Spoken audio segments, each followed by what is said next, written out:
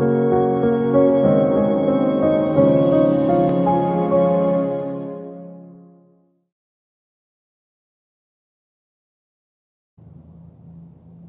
we've been looking through the book of Acts, Acts of the Holy Spirit. We are looking at how God's Spirit is working in and through a fledgling church. We're now down to chapter 11, and we're going to be looking from there forward if you'd like to open your Bibles and follow along. The rumors arrived in Jerusalem before even Peter did. They were saying things like, Did you hear? Peter baptized a bunch of Gentiles into church. And did you also hear? I cannot believe it. He ate with them. He had to have been on a spiritual high following such an experience with God uh, as he meets these group of doubters as he's coming down the mountain. And it really, truly brought him back to earth. God was trying to open doors of forgiveness and reconciliation to believers around the world.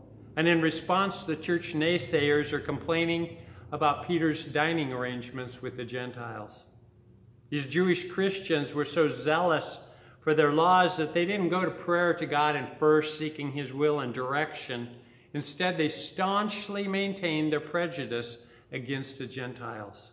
The door of salvation was opening to Gentiles. The Ethiopian eunuch with Philip a little while before.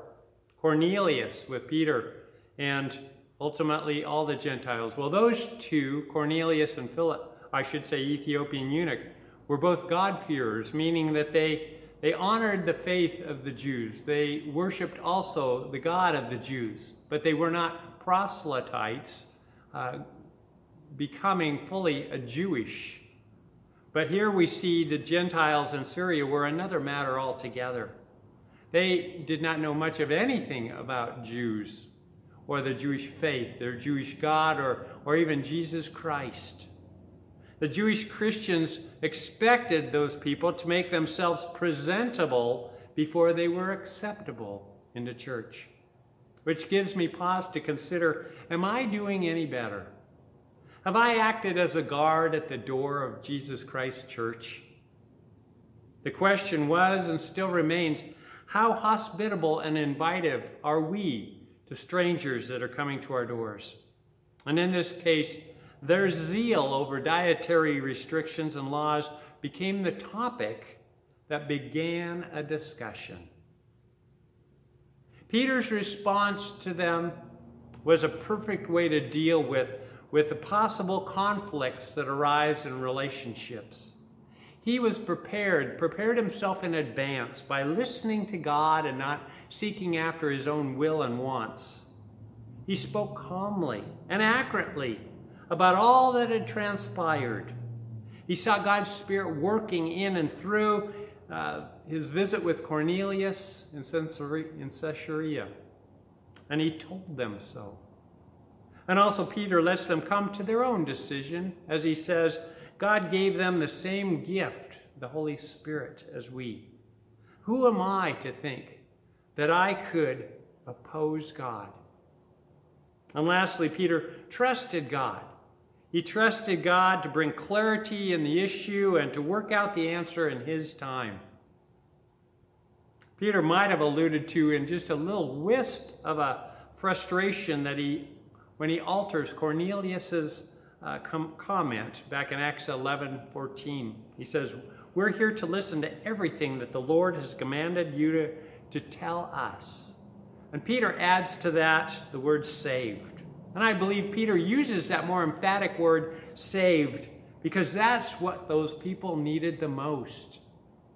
They, he was on a mission for their eternal salvation and arguing over dining room uh, rules and just seemed pretty, pretty petty. Thankfully, the naysayers were satisfied with Peter's explanation and they had no more questions. And then they thanked God for his favor to be with them and upon them and celebrated the additions to Christ's church. But what followed after was kind of a dose back of reality of what's taking place behind the scenes. In verse 19 reminds us that while all this was taking place, as we were talking about God's blessing Corinthians church and believers uh, for growth and the gift of the Holy Spirit, persecution was still wreaking havoc upon the church. Families were fleeing their homes, their jobs, and their city. They had to have been anxious and had uncertainty about what was going on. And they ran away as far as Phoenicia, Cyprus, and Antioch. And that's where Scripture talks about and focuses in on those that fled to Antioch. So let me give you a little context to that story. The Antioch was a large, the third largest, diverse city within the Roman Empire. It was situated near the border of present-day Turkey and Syria. It was a commerce center and the seat of Roman authority. There were migrant Jews that lived there, but there was a much larger population of Romans and Syrians, which was a mix between a cosmopolitan Greek and Syrian desert cultures. An interesting dichotomy. It also had a reputation for being very morally lax. They allowed ritual religious uh, pro prostitution and temples for worshiping all sorts of regional gods. The title of my sermon today is Plus Ultra. It's the title of the message, but it's also the theme of the church. Plus Ultra means um, further beyond in Latin. And in, in Toy Story vernacular, it means to infinity and beyond. It's pushing forward, it's going beyond where we have been. Trusting God's presence and spirit will guide us, direct us, and give us the strength to go forward. The church is engaging now the, the world, just as Jesus said it would. You will be my witnesses in Jerusalem and Judea, Samaria, and to the ends of the world persecution that was meant to harm the church, God is now using to bless the church.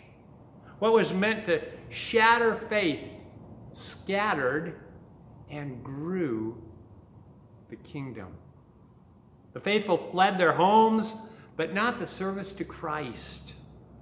Those that fled began this bold experiment. It had always been assumed that the people of Antioch who had little exposure to Jewish ways or, or the Jewish God, knew nothing about Jesus Christ, that they wouldn't have any interest in the good news of Jesus Christ. But this experiment reached out and shared Christ with them. And the result of that was uh, just a, an amazing scale of evangelism that just exploded, as Scripture says, a great number believed and turned to the Lord. They recognized in verse 21 the Lord's hand was with them. And that's a recognition that God was working through them and bringing about this ministry success. But it wasn't just God working, it was the people as well. They were trusting in God, even through the persecution, even through the displacement, financial hardships, and the uncertainty and being in a strange land with a strange community and peoples. Kind of like COVID 19 that we're dealing with. These people didn't see these issues coming. It took them by surprise, but they weren't disillusioned, they weren't depressed. They held fast to the Lord and his will. They believed what Romans 8:28 says. We know that in all things God works together for good for those who love the Lord and are called according to his purpose. They saw God calling them for a purpose, a divine purpose, and they were following it. The Jerusalem church wanted to help this new church plant, so they sent the encourager, Barnabas. He came to spiritually train them and, and grow them deeper in faith and in works. The ministry work continued to flourish and grow as the members were first being called Christians at that time. And that happened because there was such a diverse group, but they were all united as one in Jesus Christ. They were the first church planted as they went out into the world. And they, the world saw the grace of God in and working through their lives of these faithful believers. And even as they faced adversities, they pressed on in faith. And witnesses also saw that faith expressed through all things, all types of life, and they wanted what the church people had plus ultra, further and beyond. With a vision of what could be, Barnabas went off to find Saul and bring him back to this door of opportunity to share Christ to Antioch and beyond. Barnabas knew it was very likely that Saul or Paul would eclipse him because he was such a great orator and shared wonderful messages of Christ. But Barnabas didn't care about being first. He only cared that Christ be lifted up and the church would continue to grow. The chapter closes with predictions of a coming famine, but even in the face of still more struggles, these new Gentile Christians, who yesterday were called unclean and unworthy of the gospel message, demonstrated Christ's love and forgiveness by sending gifts back to the very ones who called them unclean. Such is the power of the Holy Spirit of the Christians, those believers that were moving forward, plus ultra. The nations will see your righteousness, and all kings your glory. You will be called by a new name that the mouth of the Lord will bestow. Isaiah 62, verse 2. We're no longer divided by names. We are one. There is neither Jew nor Gentile, slave nor free, male nor female, for you are all one in Christ Jesus. And we will devote ourselves to honor Christ, to live for him, and to be known by his name. We are Christians. And we place our trust in that name and the knowledge that God's purpose will continue to go forward for those that believe and are willing to venture out, plus ultra. Always forward, pressing on for the Lord Jesus Christ. Go in his name. Amen.